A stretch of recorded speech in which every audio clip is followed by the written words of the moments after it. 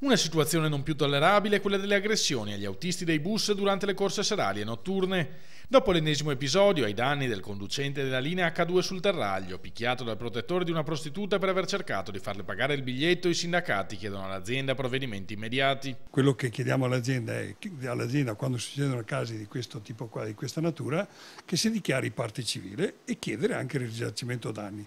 Questo sicuramente diventerebbe un deterrente per chi oggi si comporta in questo modo qui.